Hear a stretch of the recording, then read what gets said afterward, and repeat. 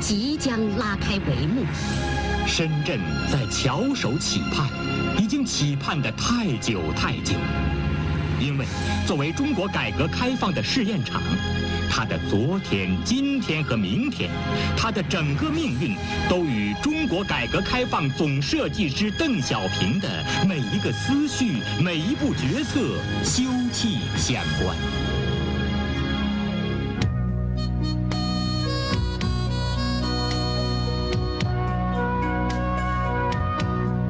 深圳是中国改革的新生儿，它崛起于中国南海边的荒漠小镇，又以一夜之城的现代都市雄姿，撼动了太平洋的滚滚风涛，引来当今世界议论风起、毁誉参半、莫衷一是。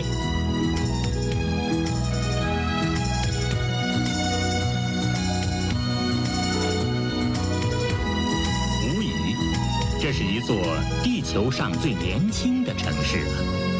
它这充满风险、充满竞争、充满机会、充满神奇，简直令世人不可思议。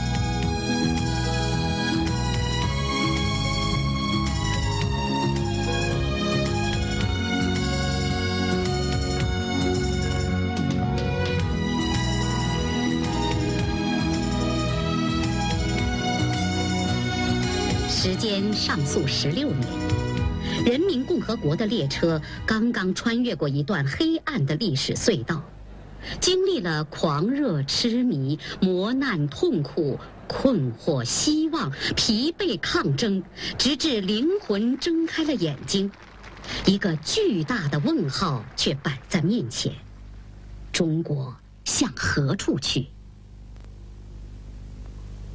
历史的积淀与现实的思考，都在叩问这片古老而贫瘠的大地。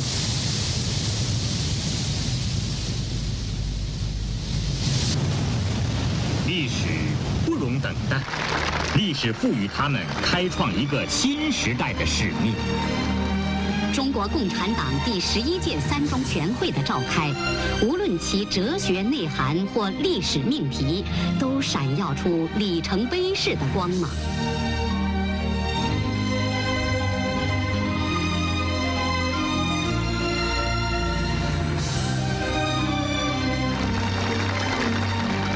的政治家们有如拨动一个地球仪，就这样异常艰难而又异常果敢地将偌大的中国推上了现代化进程。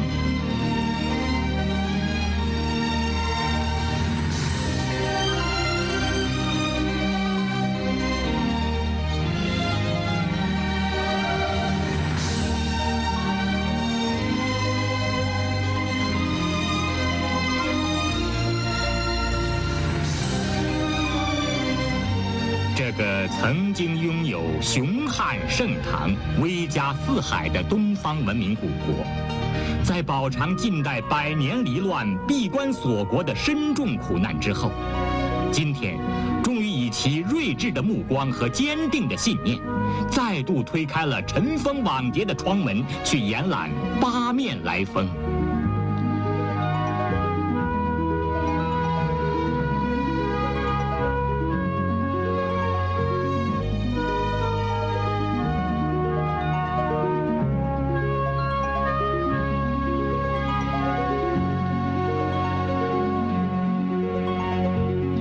社会变革都需要选择突破口。中国的改革开放同样需要一个排头兵。一九七九年，当扑朔迷离的中国政局刚刚廓清雾障，完成了一次指导思想方面的战略大转移，深谋远虑的邓小平就提出了示办经济特区的总体构想。他不无悲壮地说：“可以划出一块地方叫做特区，陕甘宁就是特区嘛。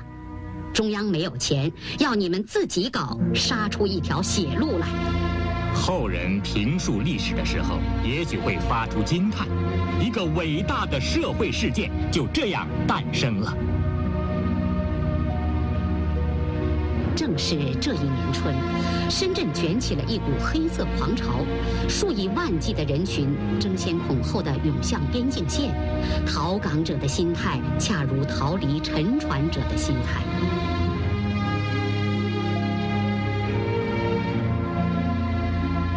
又并非始于这一年。由于世界东西方冷战的对峙格局，建国以来，深圳一直被视作政治边防和阶级斗争前哨阵地，反重阳、反向阳、反牧羊等等口号喊得震天价响。其结果，一道高高的铁丝网竟无济于事，形同虚设。三十年来，香港共接纳了二三十万宝安县的逃港者。地处著名中英街的沙头角镇，如果以人口计算，逃港者等于先后搬走了两个沙头角。如果时间再上溯九十四年，一八九八年，继甲午海战惨败之后，西方列强纷纷趁火打劫，大清国朝臣被迫同英联邦远征军首领一道登上了与河北岸破旧的村落。不正在无声地诉说着一个令国人扼腕痛切的故事吗？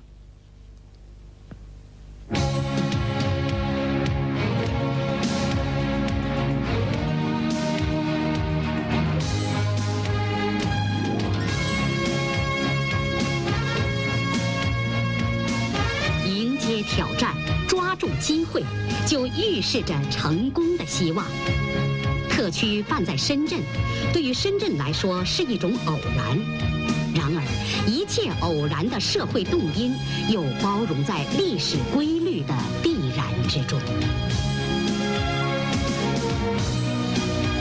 从另一个层面上说，这无异于关乎中国命运的一场大决战。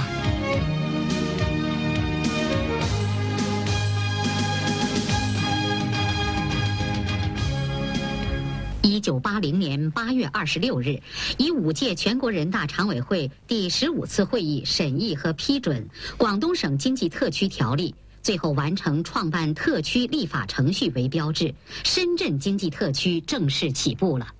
创业的艰辛，唯有创业者的体尝最为深刻。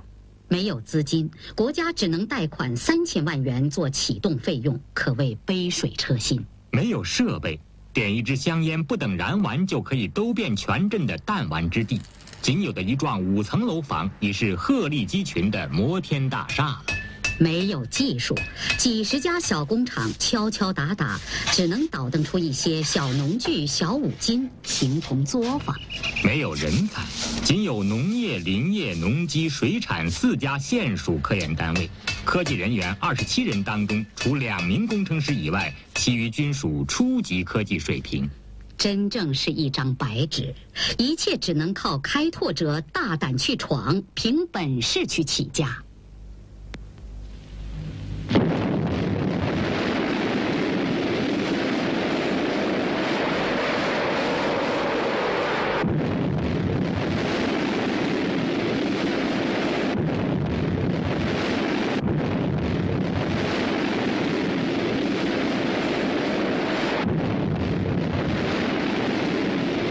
杀出一条血路来，绝对不是一句轻松的口号。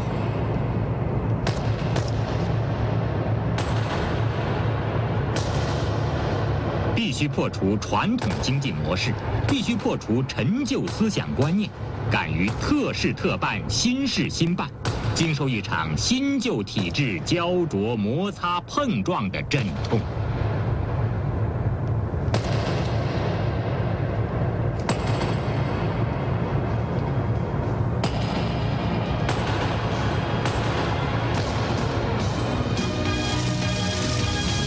国际资本发展区域经济，俗话叫做借机生蛋，这是落后地区摆脱贫困的必由之路。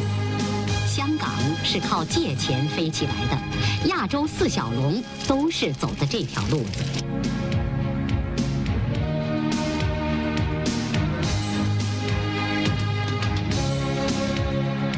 深圳也确定了一个目标，建设资金以引进外资为主。把香港外国的资本源源不断地吸引到深圳来。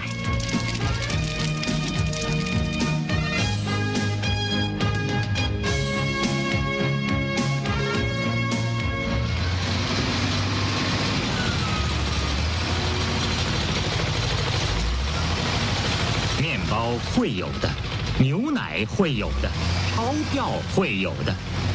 然而，谈何容易？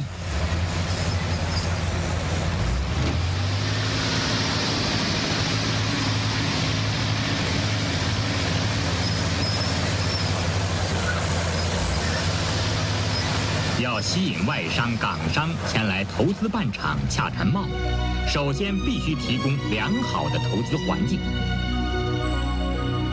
先不说软件环境，光是硬件环境就是一个十分棘手的问题。明摆着的现实是，通水、通电、通车、通讯、平地，每开发一平方公里可供投资办企业的地皮，需要耗资一亿元人民币。金钱不是万能的，没有钱却是万万不能的，此话千真万确。出租土地，在十二年前，这是绝大多数中国人连想也。